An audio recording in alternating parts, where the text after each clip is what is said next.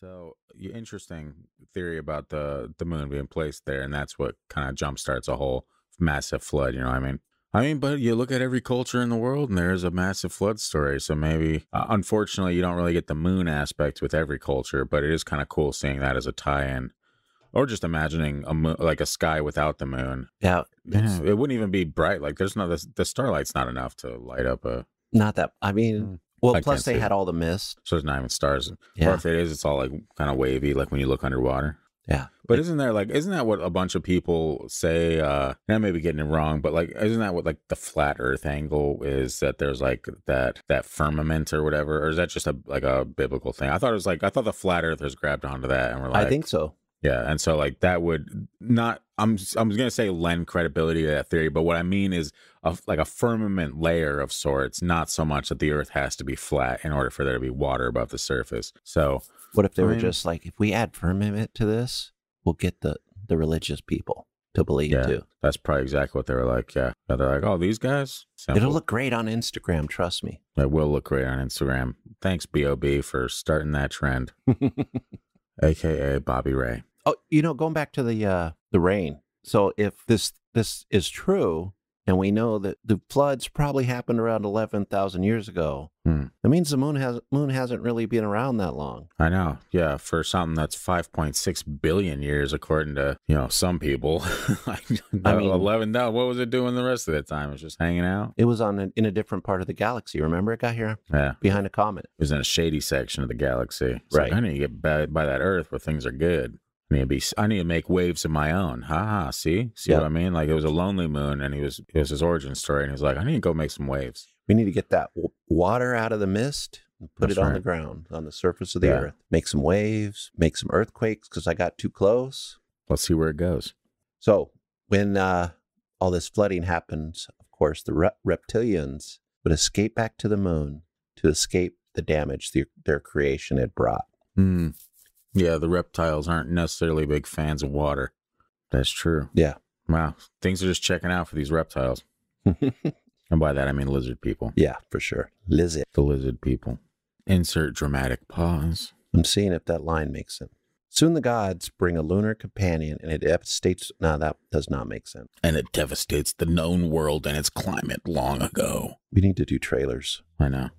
Could this have been the cause of the great flood many parts of the world experienced 11,000 years ago? It is a lot to wrap your head around, but there are people working on this theory now. How many? Probably not a lot. Eight. No. that's why we're here. That's why we're here. Cut to like 80s. Doom, doom, ba doom. You know, then you get a nice synthesizer bed going. Before we get into a little bit more, are you feeling this hollow moon yet? I like the stories behind I like the the older stories of it, like where it was like placed there That's, and all the waterfalls. And you're just, whoa. I do like going into myths though, and and seeing You're going into mist? myth, Oh, myth. like like ancient myths or or the people, you know. I picture Mike, Mike Tyson again. Mike Tyson's going to be like, anytime there's something that sounds like it's even remotely close to a different word, but Mike Tyson saying it, I was going into the myth. You know what I mean? Yeah, It's it's mu- perfect. it's much better to have him doing that than biting Yeah. your ear. Yeah, thanks for that, Mike. Come come around again, please. Yeah, no problem, Scott. I did come up with, I did come across a couple strange things. Could you say a strange thing happened on your way to this episode? Yep, on There the way uh, on the way to the hollow moon, something strange There you go. this way came. Mm, mixing a few now, but I'll allow it. One of the examples that was given many times in various places were the unemotional or maybe just troubled expressions on the faces of the astronauts of the first lunar landing. They looked pretty uh, troubled. Yeah, and I I didn't actually see that until that video we watched together, and I was like, wow, yeah, they legitimately they're like, ugh, like it's almost like they're just like it's over, it's all over. Yeah, and I have to lie for the rest of my life. Yeah, that'd be kind of a bummer. Yeah, you do this great thing and you're like an American hero, but you can't tell the truth. Yeah, maybe that explains why Buzz Aldrin's a little a little choppy. He's just a little rough around the edges. You say Yeah. something to him, he's like, I'm gonna punch you in the mouth. Yeah, he- got a little bit too much of that moon dust in his system. Running on moon dust and tang. Beat your ass. No, probably. Thanks, Buzz. Hey, that's what Tang advertised back in the day. It'll beat your ass. Tang. Top sponsor of WW whatever. Yeah. Any of those. WWW. We also found that there are many people out there that feel NASA's budget was cut after finding out the moon was hollow. They're just like bummed out or something like that. Well, like, I mean, I, I've seen that all over the place, and I'm sure you've had about how NASA has their, their budget cut after they started doing all this space exploration. Yeah, I don't actually think I've heard that. But I don't believe it's totally true. I just think that once we got there and beat the Russians, they're like, okay, let's use our money for weapons again. can we blow up anything from the moon? Yeah, now Like, that well, we no, show, that's not what we're supposed to be doing on there. Well, then well, get the hell off of it, you bastards. R- Re- Reagan said we could have our our Star Wars system in space to protect us. In the movie Moonfall, there is an AI that our interstellar ancestors built that revolted. The AI has searched for our artificial moon for years so that it, it could wipe out the last of the humans. I mean, that tracks with everything that we've ever seen in film across the history of AI. You know, that's always the game. You look at iRobot, you look at Terminator, look at all these movies. You're like, what?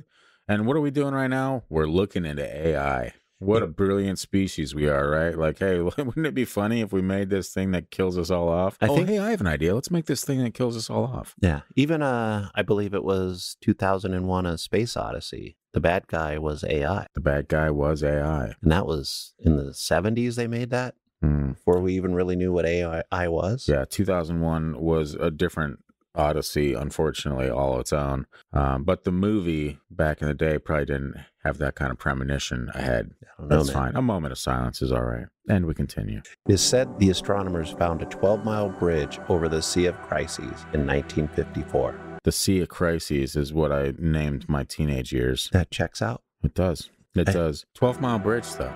Is that one of the structures, like off one of the big structures, or is that just like a random bridge? Like we see, you know, staircases in the woods, a bridge on the moon. I mean, it's over the Sea of Crises, so maybe there was a sea there back in the day. Maybe they had a lot of crises on it, and they're like, we need to put a bridge over this damn thing. Yeah. Yeah. That's what I would do. So the moon has bases. There is something black on the surface that is okay. 250 miles long and 50 miles wide. Well, what does that spell out for you? Landing strip for gigantic ships Okay. that would later attack the world in, in the TV, television miniseries V. Okay.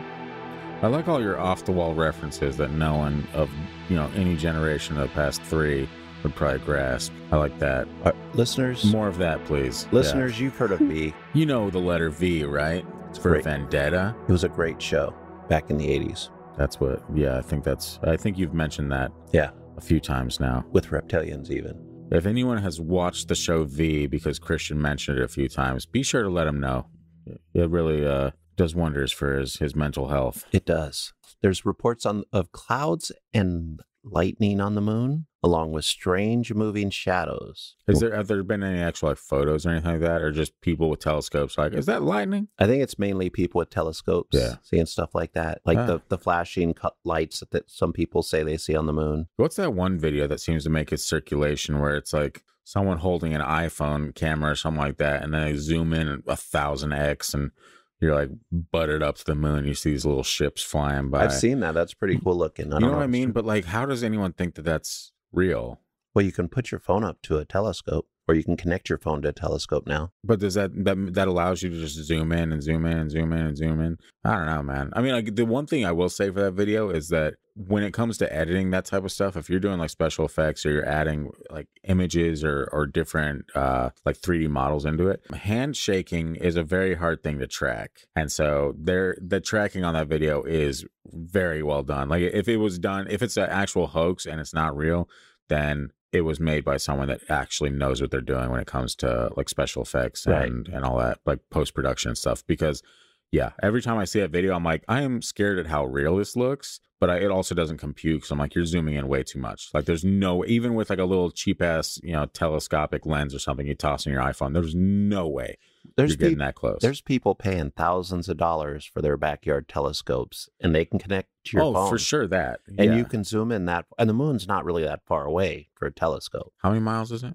That's, I don't know, man. yeah it's a lot I mean, it's a lot to us, but yeah we can get there but relatively. we don't have telescopes I've looked at it through a telescope. Oh, same. Yeah, my dad used to have a telescope, and you know, living in the desert, prime location. Yeah, it would be fun to have a telescope, but it wouldn't work. in a-